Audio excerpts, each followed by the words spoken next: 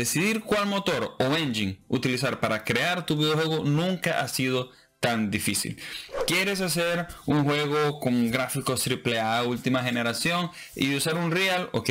¿Quieres apoyar el software libre a medida que tú creces como desarrollador y como empresario? Entonces usas Godot. Si quieres desarrollar tu videojuego pero no tienes la menor idea de cómo programar, puedes usar Buildbox. Hay muchas razones para escoger entre una decena de opciones cuál motor o engine debes utilizar, pero en este video me enfocaré específicamente en Unity. Si te has preguntado por qué debes usar Unity o tienes curiosidad y conocer más sobre él, bueno, entonces quédate porque en este video te hablaré sobre 9 razones por la que en nuestro estudio 67 bits estamos usando Unity. Comencemos. Hola, ¿qué tal? Soy Juan León, el cofundador del estudio 67 bits y creador del juego Elves Clan Tricky Seasons. Si quieres conocer más sobre nuestros juegos, que son más de 20, puedes ver aquí en la descripción los links, le das allí y allí vas a nuestra tienda. Vamos a lo que realmente te importa y nos importa a todos. Las razones por las que debes usar Unity para crear tus videojuegos. La primera razón es la versatilidad. Es obvio que Unity no es perfecto como ninguno de los otros engines o motores lo es. De hecho, Unity está bastante lejos de ser perfecto, pero es difícil encontrar un motor tan variado y tan versátil como lo es Unity. ¿Quieres hacer un juego 2D? Unity lo tiene. ¿Quieres hacer un juego AAA con gráficos HD, Ultra HD, Mega 4K? Unity también lo puede hacer. ¿Quieres hacer un juego extremadamente simple? Unity también lo tiene. Con Unity tú puedes crear desde un pequeño prototipo hasta un juego totalmente completo con los gráficos de última generación. Además de que tiene todo tipo de herramientas como sistema de animación, tiene Ragdoll, tiene diferentes sistemas de input y algo sí, que, eso sí también hay que aceptarlo, es que su curva de aprendizaje no es tan fácil, pero una ventaja es que puedes aprenderlo relativamente rápido y puedes crear cosas muy rápidas en él una vez que ya le agarras el tiro y ya sabes cómo hacerlo. La segunda razón es que tiene una comunidad muy grande, muy fuerte y muy unida. Comenzar en un nuevo engine no es nada fácil. Y sobre todo si tu engine con el que estabas trabajando es bastante diferente a ese nuevo engine que sería Unity. Pero al ser el engine más usado del mercado, tiene una comunidad de gente grandísima que está dispuesta a ayudarte. Ya muchos pasaron por muchos problemas y muchos errores y puedes encontrar la solución en diferentes foros, páginas web, etc. La documentación de su página oficial es muy buena, tiene mucho material, tienen videos excelentes, inclusive yo lo utilicé y estoy estudiando todos esos tutoriales durante tres meses y además de que hay una gran cantidad de canales en YouTube y de tutoriales de gente que es extremadamente profesional y bizarramente buena. De allí también vas a poder obtener muchísimas informaciones que te van a destrabar al momento de que tengas algún problema. Otra cosa que también es muy buena y que casi nadie la comenta es que al ser Unity una de las herramientas o motores o engine más utilizados del mercado, los costos son más bajos. Es decir, si tú necesitas contratar a una persona que sepa más que tú o cualquier otro profesional especialista en Unity, ese va a ser más barato que un especialista en Unreal, por ejemplo. ¿Por qué? Unreal es un motor donde no tantas personas lo usan y ese especialista te va a cobrar más caro porque él tiene menos competencia. Entonces, alguien en Unity te va a cobrar más barato porque la competencia de profesionales es mucho más fuerte que en cualquier otro de los motores. La tercera razón son las diferentes opciones de lenguaje que tiene Unity. Nunca está de más tener varias opciones y no es que tampoco que tenga muchas, pero tiene dos lenguajes como lenguajes principales. Muchos de estos engines para crear videojuegos usan sus propios lenguajes, que no es el caso, bueno, sí, Unity tiene su lenguaje que es llamado Unity Script. No sé qué, es lo que pasó, pero prácticamente quedó abandonado y sus opciones más eh, usadas, que son básicamente C Sharp, es la que todo el mundo usa. También está la opción para quien no sabe programar, que es la herramienta llamada Bolt, con la que puedes desarrollar videojuegos usando Visual Script. Y el uso de estos dos lenguajes es muy importante porque facilita a quien ya sabe programar en esos lenguajes, entrar a Unity y la curva de aprendizaje se le hace mucho más fácil y más cómoda. Entonces, eso es bastante interesante y por eso es muy bueno que se puedan usar esos dos lenguajes. La cuarta razón es que él es cross-platform. ¿Y qué quiere decir eso, Juan? Bueno, que cuando tú quieras lanzar tu videojuego, es muy posible que quieras lanzarlo en diferentes plataformas. Puede ser Windows, Linux, Android, iOS o iOS o Xbox o PlayStation o el nuevo Atari o Stadia. Hay un montón de opciones, ¿cierto? Entonces todas esas plataformas tienen diferentes arquitecturas, tienen diferente hardware y se necesita modificar su código base para que tú puedas ejecutar los juegos en ella. Con Unity, que eso es una gran ventaja realmente, solo debes instalar el módulo de la plataforma, asegurarte de que esté configurado para que puedas ejecutarlo en ella y básicamente, bueno, en ella y en su hardware y así crear el proyecto. Unity siempre está actualizando esta funcionalidad por lo que nunca vas a tener problema con este tipo de situaciones o cuando quieras lanzarlo en diferentes plataformas. La razón número 5 es que los publishers aman Unity. Esa fue la razón principal por la que en 67 bit nos pasamos de Buildbox, como ya muchos saben, ustedes que me están siguiendo, empecé usando Buildbox, nos pasamos de Buildbox a Unity. Amo Buildbox, me encanta Buildbox, fue con el que comencé y siempre lo voy a apoyar de la manera que pueda. Pero muchos de estos publishers, ellos desarrollan sus propios SDK o contratan o usan SDKs de terceras personas, de terceras empresas, perdón. Y todos estos están pensados como eje principal Unity. Eso es muy importante para ellos. Inclusive hay algunos donde solo tienen la versión para Unity. A través de estos SDK, ellos van a tener la mayor cantidad de datos posibles. Recuerda que los publishers lo que quieren es datos e información no personales de los jugadores, sino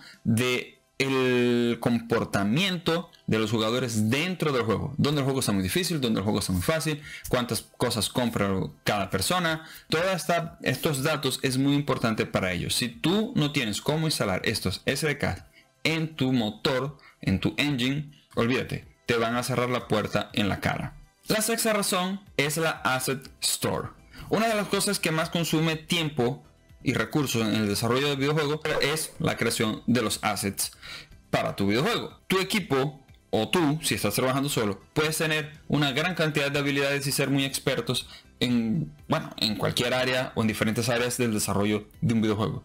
Pero sea porque tú quieres agilizar el proceso o sea porque simplemente quieres hacer un prototipo que visualmente sea atractivo y agradable de la manera más rápida posible para conquistar un publisher o conquistar el público, hacer pruebas de mecánicas con público, esto te ayudará sin duda alguna. Aquí no solo encontrarás modelos o VFX, efectos visuales o efectos de sonido o este tipo de cosas. También vas a encontrar sistemas o herramientas como controladores de personajes, shaders, herramientas para construir niveles, herramientas que son prácticamente un motor dentro del propio motor de Unity que te va a ayudar a crear mundos 2D, mundos como Zelda o Runners. Hay una gran variedad de recursos y una cosa que para mí es muy importante es que hay muchísimas cosas que son gratis y tienen una calidad impresionante. Eso de verdad te va a ayudar a que tú puedas comenzar a desarrollar tu juego sin ningún problema. Suelta el ego porque la cuestión no es que quede el juego lo más bonito posible como tú te lo imaginaste. No, eso viene después. Primero es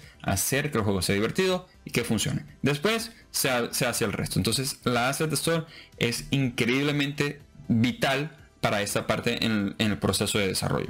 La séptima razón es que su editor es modular. Unity no es un motor rígido como tal. Para algunos es ventaja, otros creen que es desventaja. Yo lo veo como algo ventajoso. Porque al no estar nada escrito en piedra, tú puedes llegar a personalizar Unity como tú creas que es la mejor manera para ti, para tu estudio, para tu tipo de juego y tu tipo de desarrollo. Simplemente tienes que entrar al Package Manager, bajarte las herramientas o funcionalidades que tú necesitas y ya está. Esto hace que el, programa en sí no sea tan pesado. Si tú eres artista, te bajas herramientas de artista. Si tú eres programador, te bajas las cosas de programador. Y así, si eres animador, bueno, te bajas las de animador. Y así va. No necesitas todo el programa extenso para crear algo que a lo mejor ni siquiera lo vas a usar. Eso es muy importante porque si necesitas algo, inclusive que es aún más personalizado, tú puedes crear tus propias funciones siempre que estés usando el lenguaje con el que estás desarrollando tu propio videojuego. La octava razón es el Unity Service. Unity es mucho más que apenas un engine con un montón de funcionalidades. Unity tiene diferentes servicios integrados como lo son el Unity Ads, que es para que tú puedas integrar publicidad dentro de tu juego sin ningún costo. También tiene otras herramientas como el Unity Analytics, que como su nombre lo dice, él te ayuda a obtener diferentes métricas y datos de tus videojuegos. También tiene el servicio Unity Team, que es para trabajar eh, en la nube y en grupo. También tiene el Unity Multiplayer, que obviamente es para multiplayer.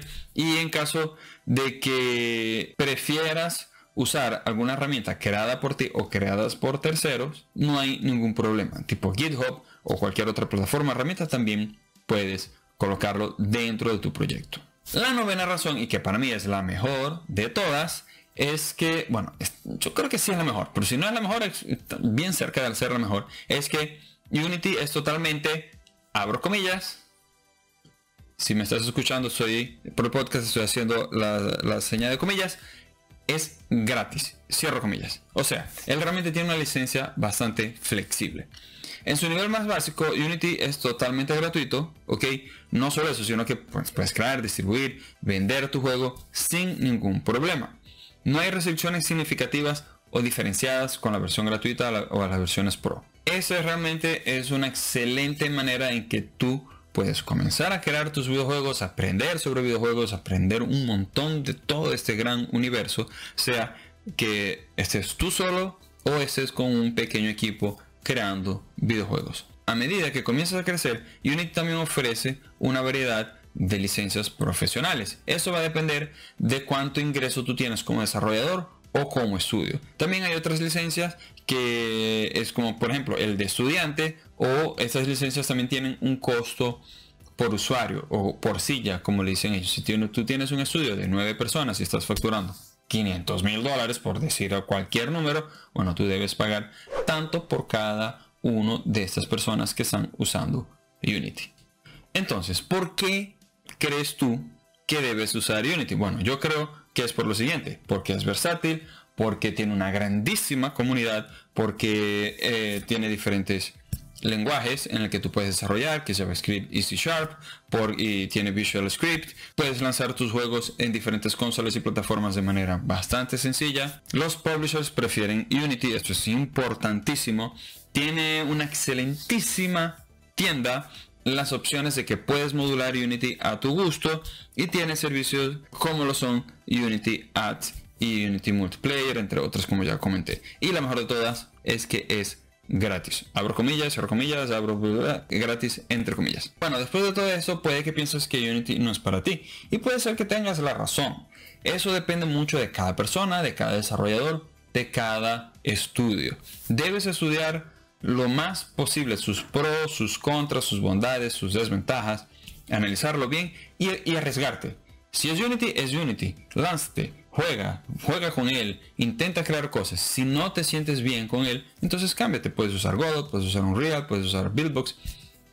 Lo mejor es que tú te sientas extremadamente cómodo para crear videojuegos. Pero si te decides por Unity, bueno, ya te he dado un montón de razones y hay otras más por las que puedes estar muy feliz y tranquilo de que has elegido bastante bien. Bueno, sin más, dale like, comparte. La misión o el objetivo de ese mes es llegar a los 5000 seguidores. Si lo voy a conseguir, eso solo dependerá de ti. Tú tienes el poder para ayudarme a conseguirlo. Ya sabes, nos vemos en un próximo video y chao.